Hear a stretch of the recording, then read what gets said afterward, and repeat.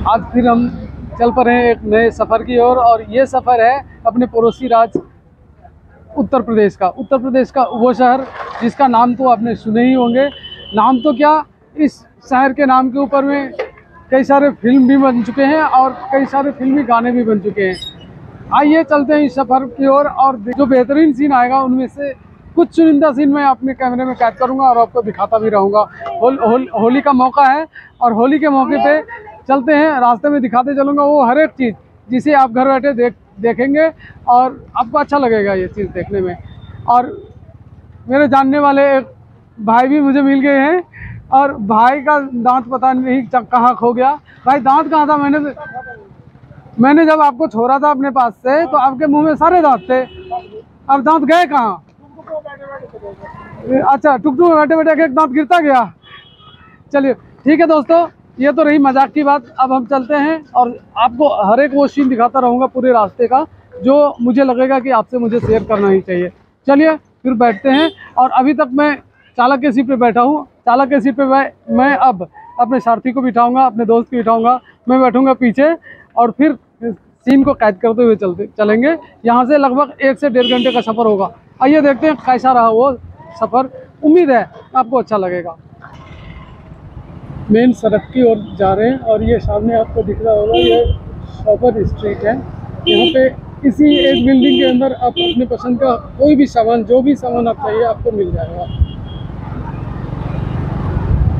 ये रामलीला मैदान रुद्रपुर का फ़ेमस रामलीला मैदान, ऐसा रामलीला, जो शायद पूरे हिंदुस्तान में कहीं भी बढ़िया रामलीला होता है, दुर्गा पूजा के टाइम में, अक्टूबर के महीने में तो यहाँ भी होता है। टुक टुक वाले भैया सामने खड़े हो गए। मुझे भी निकल जाने दो यार। और ये चौक फ़ेमस है। डीडी चौक के नाम से बोलते हैं। ये डीडी चौक का नज़ारा हम लोग शॉर्टकट छोड़ के एन पे आ गए। और यही एनएच हमें अपनी मंजिल तक लेके जाएगा। जो लगभग एक घंटे का सफ़र होगा वो इसी रोड पे होते हुए चलेंगे हम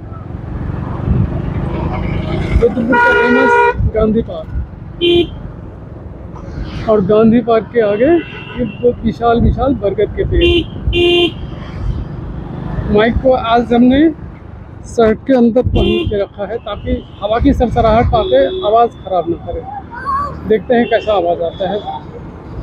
पिछले ब्लॉग में हवा की सरसराहट ऐसी आ रही थी जो आवाज़ सुना ही नहीं दे रहा था बिल्कुल और ये है सब्ज़ी मंडी रुद्रपुर का।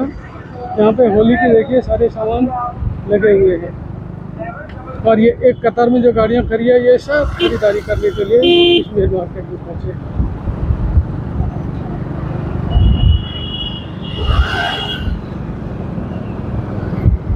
ये सब, ये जल निगम का टंकी। यदि आप रुद्रपुर या आसपास के रहने वाले हैं तो इन सब जगह को देख के आपका याद तरोताज़ा हो जाएगा कि हम लोग कहाँ से अभी गुजर रहे हैं। ये नगर निगम और सुरेंद्र भाई बहुत तेज चला रहे हैं मुझे तो कह रहे थे मैं तेज नहीं चला। मुझे तो कहते थे आप तेज नहीं चलाते हो आज तो तेज चला रहे हो। जल्दी पहुँच रहे हैं कहीं देर ना हो जाए। और ये, दोस्तों, ये चौराहा जो है, ये रुद्रपुर का सबसे व्यस्ततम चौराहा में से एक है। इस चौक का नाम भारत के भूत, भूतपूर्व प्रधानमंत्री इंदिरा गांधी के नाम पे बना है और इस चौक का नाम है इंदिरा चौक। यहाँ पे इंदिरा इंदिरा जी की स्टैचू भी लगी थी, जो स्टैचू को नगर निगम ने शिफ्ट कर दिया। पूरे यहाँ की तो क्या, पूरे शहर की स्टैचू को इन्होंने जगह जगह जो मेन रोड पे लगा हुआ था, उसको शिफ्ट करके एक ही जगह गांधी पार्क में कर दिए हैं।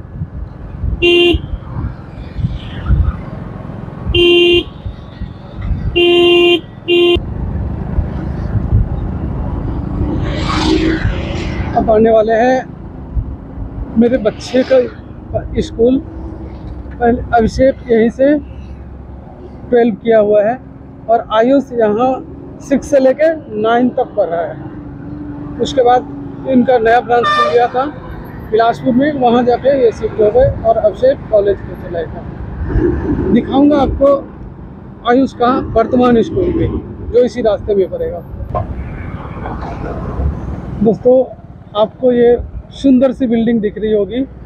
ये वही बिल्डिंग है जिसमें आयुष, यानी कि मेरा छोटा बेटा अभी पढ़ रहा है और स्कूल का नाम R A N public school है। अब मैं अपने ड्राइवर साहब से कहूँगा तो गाड़ी वाले गाड़ी धीरे हाँक ले ताकि हम इस कैमरे को, इस सीन को कैमरे में कैद कर सकें। ये है दोस्तों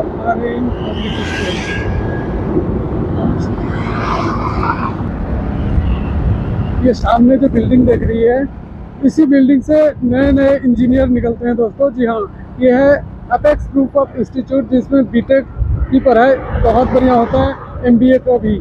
और साथ में ही लगा हुआ है ये गेहूँ का फ़सल। ये हरे भरे गेहूँ के फ़सल जब लहराते हैं तो जिनका है, यानी कि किसान तो खुश होते ही हैं, मुझे भी बहुत खुशी मिलती है, क्योंकि यही वो चीज़ है जो हम हम लोगों को इस धरा पे ज़िंदा रखने के लिए चाहिए होता है। पैसे चाहे अपने पास कितना भी हो जाए, लेकिन जब तक इसकी उपलब्धता नहीं होती है, अपना जीवन चल नहीं सकता। जीवन रूपी गाड़ी आगे बढ़ नहीं सकती दोस्तों। दोस्तों बैकग्राउंड में आपको फैक्ट्री कुछ दिख रहा होगा। ये फैक्ट्री ही है और है चीनी मिल का। जी हाँ दोस्तों शुगर मिल है ये और ये बिलासपुर क्षेत्र में पड़ता है। हालाँकि इसका एक भी दाना मुझे खाना पसंद नहीं है, मैं नहीं खाता हूँ, लेकिन कई सारे मीठे के दीवाने जो हैं, उनकी, उनको ख्याल में रखते हुए इस फैक्ट्री का निर्माण हुआ है। सड़क देख रहे हैं आप? एक समय ऐसा था जब इस सड़क से गुजरने में या इस इस सड़क पे एक बार यदि आप आ गए और वापस घर चले गए तो गाड़ी सर्विस मांगने लग जाती थी। लेकिन वो, ये सब अब बीते दिन की बात हो गई। अब सड़क आप जहाँ भी जाएँ, इसी हिसाब का मिलेगा, इसी बेस्ट क्वालिटी का मिलेगा दोस्तों। चाहे आप रुद्रपुर, उत्तराखंड, उत्तर प्रदेश या हिंदुस्तान के किसी भी स्टेट की बात कर ले हर एक जगह सर, सड़क की क्वालिटी इसी टाइप की अब हो गई है। अमूमन गाँव तक इस क्वालिटी की रोड पहुँच गई है। अब हम लोग गुजर रहे हैं Saint Martin de Forest hospital के सामने से दोस्तों ये अमरुद के बागान के बाद यानी कि अमरुद के बगीचे के बाद अब सीधे हम लोग पहुँचने वाले हैं। उसके सामने जो है बिलासपुर का सबसे बड़ी नर्सरी में से एक देव नर्सरी। जी हाँ दोस्तों आपको स्क्रीन पर दिख रहा होगा ये। देव नर्सरी है, जो बिलासपुर का सबसे बड़े नर्सरी में से एक माना जाता है।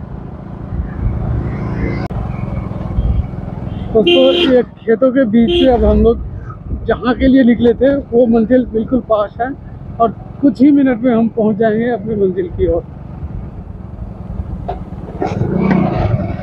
मेन रोड से हम लोग अब जहाँ पे जाना है, उस स्थल की ओर वाली जो पतली सी रोड है उस पर आ गए हैं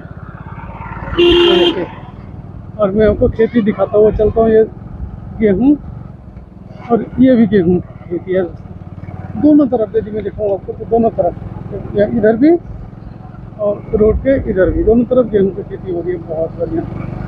और ये वो स्पॉट है जहाँ हम लोग आए थे। हाँ हाँ बिल्कुल।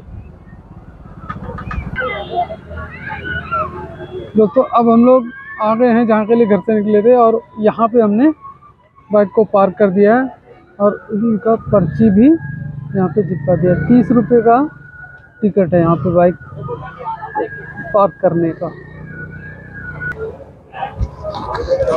दोस्तों, रुद्रपुर में होली के दुकान से स्टार्ट हुआ ये कारवां। अब यहाँ पे आकर थम गई है, इस मंदिर के प्रांगण में। मैं आ गया हूँ बिलासपुर से काफ़ी दूर, कैमरी के आसपास। यहाँ पे चल रहा है किसान मेला और किसान मेला को देखने के लिए ही आज मैं दोपहर को घर से निकला था और यहाँ करीब दो घंटे के सफ़र के बाद पहुँच गया हूँ। पीछे बैकग्राउंड में आपको भव्य सा मंदिर दिख रहा होगा। ये इस इलाके में बहुत ज़्यादा फ़ेमस मंदिर में से एक है। कहा जाता है सावन में इस जिला में जितने भी लोग कांवरिया आते हैं उसका 70 परसेंट अकेले इस मंदिर में जल चढ़ाने के लिए आते हैं। अंदाज़ा लगा सकते हैं आप कितना फ़ेमस मंदिर होगा ये। और उसी मंदिर को देखने के बाद इस ब्लॉग को मैं यही ख़त्म करता हूँ। मिलता हूँ आपसे इस मेले में। यदि कुछ मुझे खास लगेगा जो आपको दिखाना चाहिए, आपसे शेयर करना चाहिए, मैं ज़रूर आपसे शेयर करूँगा। तो इस ब्लॉग को अभी तक देखते रहने के लिए आप सभी का बहुत बहुत धन्यवाद। मिलते हैं फिर किसी और लोकेशन में किसी और टॉपिक के साथ। तब तक के लिए मुझे दीजिए विदा। धन्यवाद दोस्तों इस ब्लॉग को अभी तक देखते रहने के लिए।